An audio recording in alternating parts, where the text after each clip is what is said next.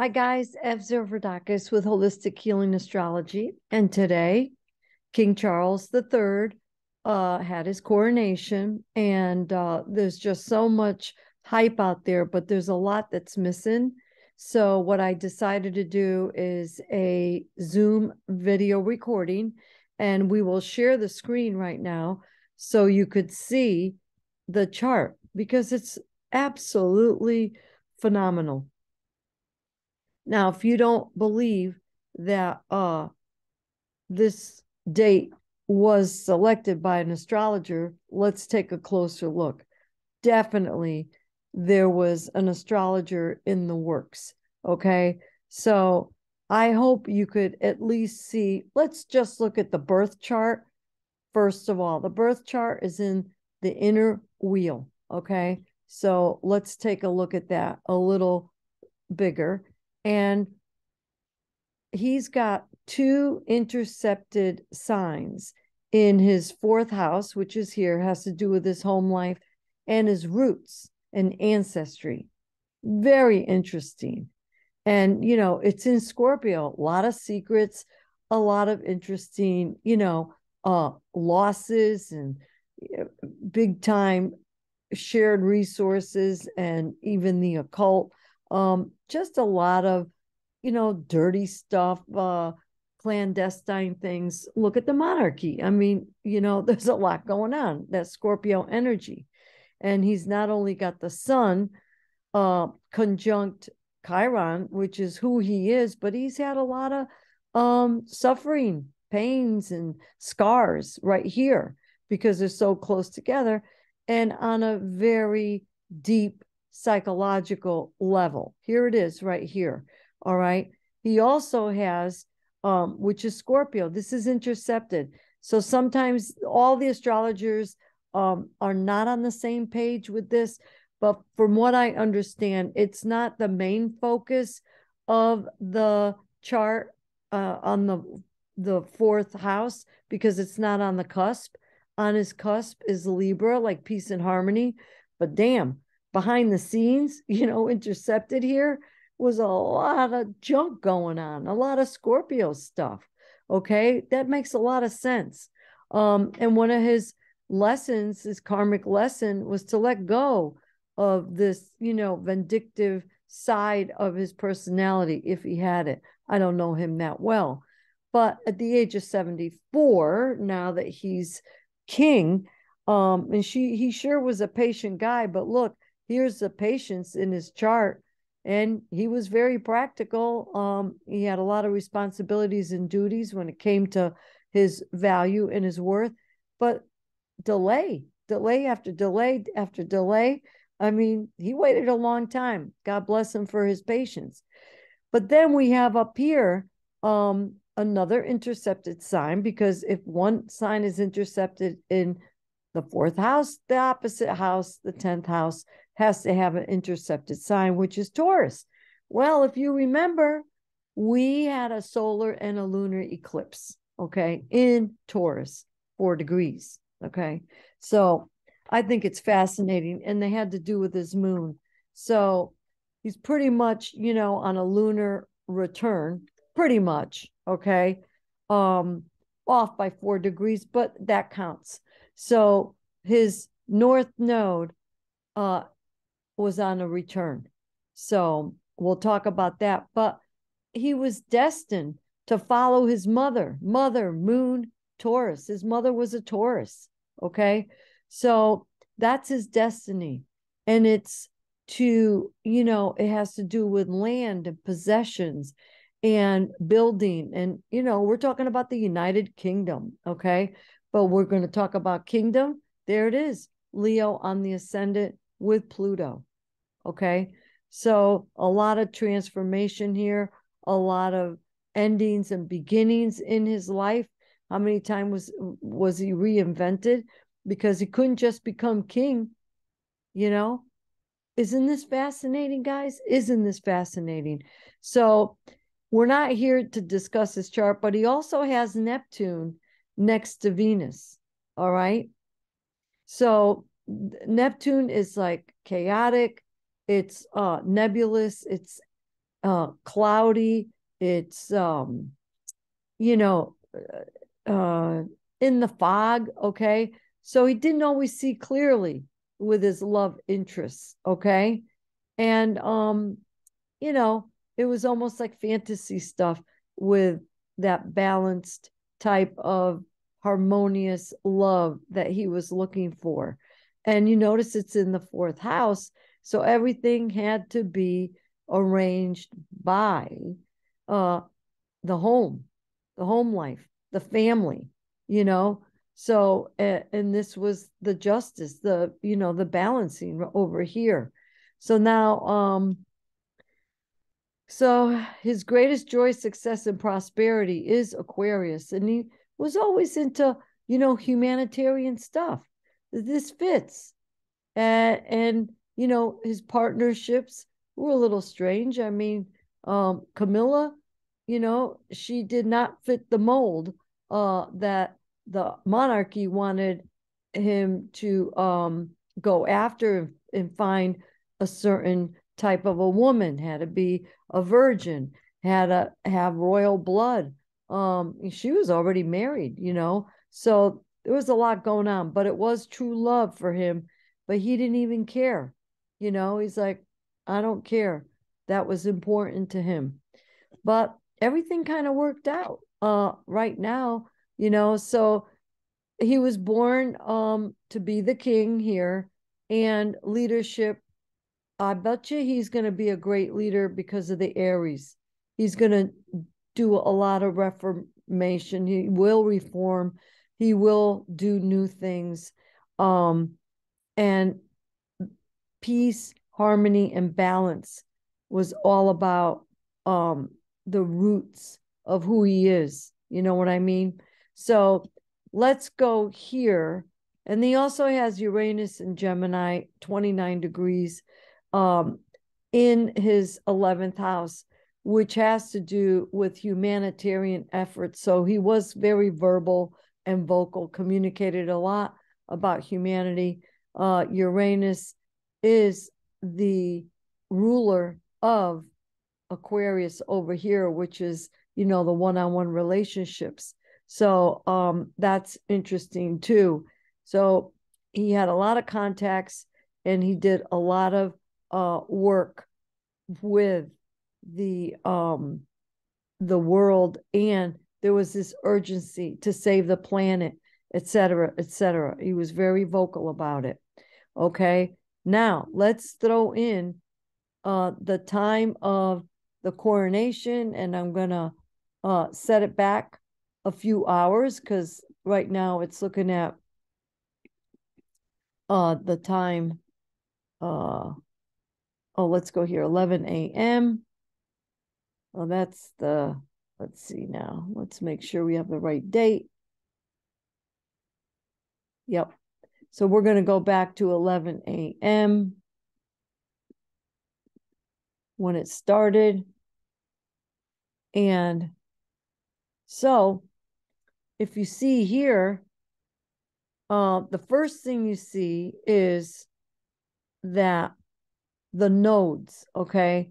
So he has a nodal return, you know? That means that's his purpose. So he is going to reach his purpose. And look at the whole thing was televised. That's Mercury. Mercury and then Jupiter. Extravagant, huge, big. Okay. And this is his social status. There it is the sun in Taurus, unexpected, um, original, unique. All right. It was because they didn't show this, but there was revolt and uh, people protesting um, while the coronation was going on, which is very interesting. They didn't show that on TV, but it was a mixed bag. There was a, a lot of division there.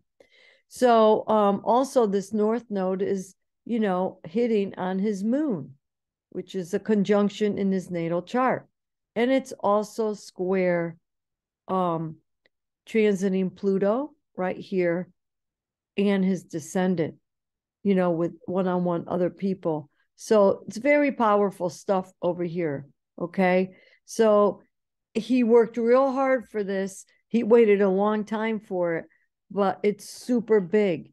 And then if we look down here, of course, the south node is conjunct because they go together. It's always uh, across. But then look, the moon is conjunct his Chiron in the fourth house next to his natal um sun, natal sun and Chiron. So there was a healing today. You know, all those years that he was patiently waiting, it happened today. So I am positive that very good astrologers took a look at this and um you know you could see that the nodes are very important for big time events.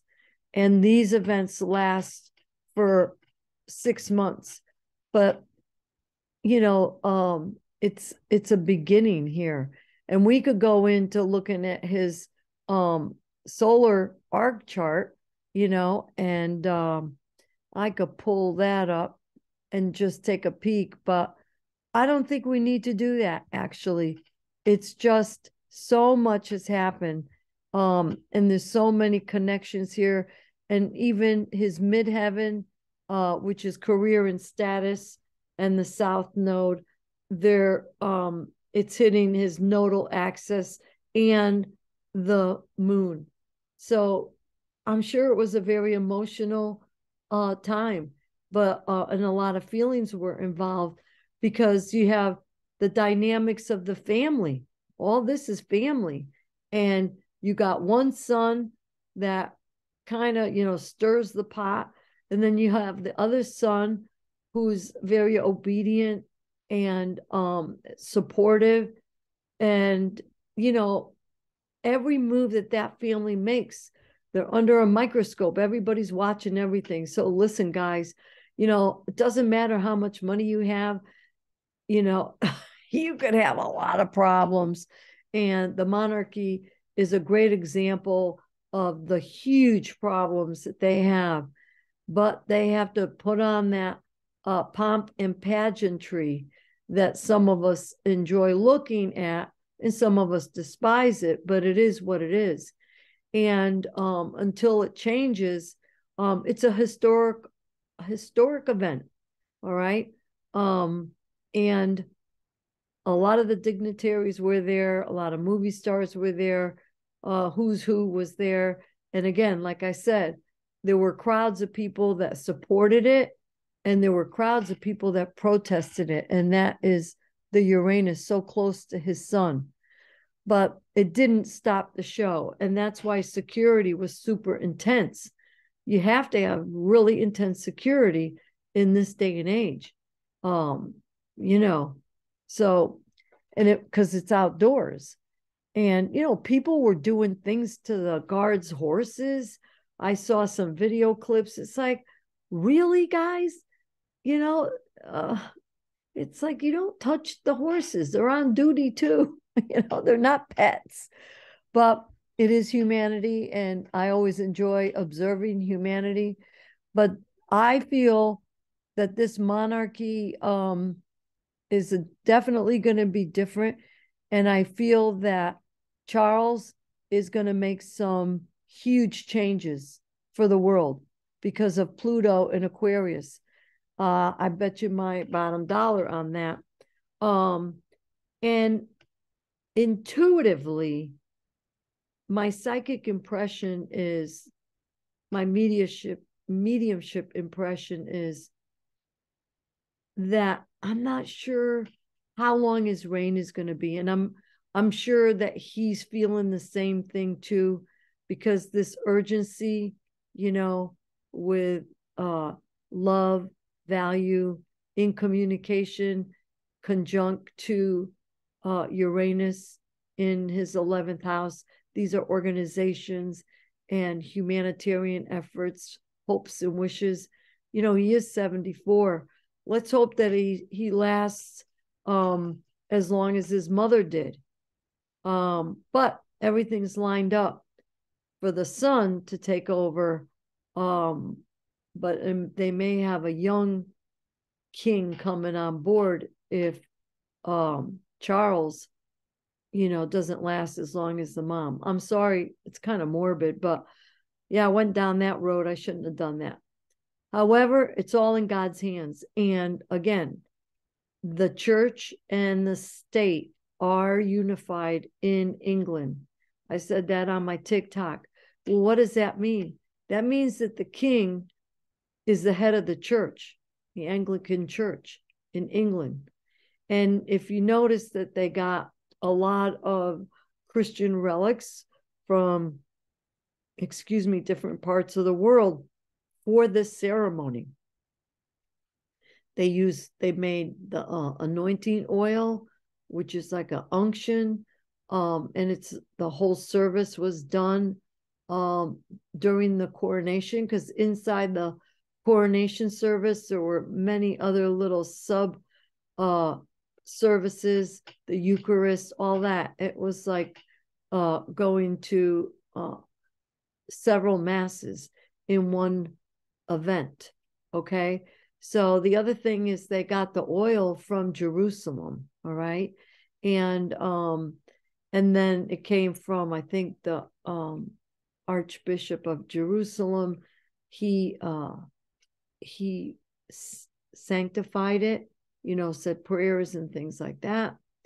Um, and then I believe the olives from were from the Mount of uh, Olives um, in in that area. So the other interesting note that you have to understand and remember is that Prince Philip and Charles would go to the Greek monasteries, excuse me, in Mount Athos um, for uh, like spiritual retreats. And they would do their confessions and stuff like that. So they are very spiritual um, beings, all of the monarchy. And I know uh, Queen Elizabeth was very spiritual. Um, she always did her prayers. I mean, because she was the head of the church. You know, it's always, it's almost like, you know, she was like a a mini pope type of thing you know she was the head of the church so she had to do the best that she could to uh uphold these values because uh what i understand about religion um priests and the higher up they go in status the more uh the higher degree of judgment that comes upon them. They're judged at a higher degree, all right, different level, because they lead the flock, all right? So, this is the story about King Charles and long live the king. Uh, and let's see what happens. But I think it's fascinating to see that the North and South nodes were involved with his coronation and transiting Pluto and, you know, Uranus, the sun, Mercury. You know, Mercury is all about communication. The whole thing was televised, the whole world knew about it. Um, and of course, the whole world knowing about it. That's, you know, Pluto in Aquarius. So it was a man- major transformation of the world. So I hope you enjoyed this. And um and if you like to be notified, go ahead and click on that bell. Go ahead and subscribe um, so you will get upcoming um, videos. And if you haven't checked out our brand new and improved website, please do so. And uh, if you want to get on our um, newsletter subscription, go ahead and do so. The other project I have is to upload all the old blogs that I had on my other website and put them on the new website. And I'm going to just divide them into two into spiritual and astrological. They'll be cut in half because I talk a lot about uh, the spiritual world, how to connect with your spirit guides, all the, you know, the two areas that I focus on when I do coaching and uh, astrological consultation. Okay. And I teach too. So it's all ball, all rolled up into one ball. Um, so yes, uh, new improvements. So yes, you could buy now and pay later. You know, I had to get into the swing of things because with this economy, people don't have the money anymore. We all have bills to pay, uh, but things are getting more and more expensive. So instead of complaining about it, we just, you know, buy now and pay later. So um it's not such a big hit. So I hope you enjoyed everything. Um we'll talk to you soon. Bye-bye. Have a great night.